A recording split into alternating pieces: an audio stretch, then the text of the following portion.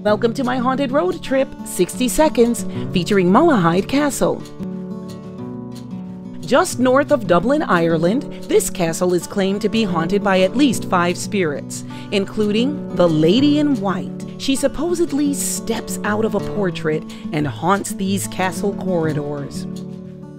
Now, the Lady in White or the White Lady legends exist in many cultures.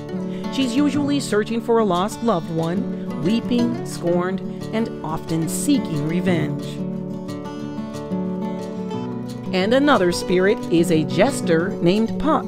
He committed suicide and is seen in this dining room and outside on the grounds as well, wearing full jester attire.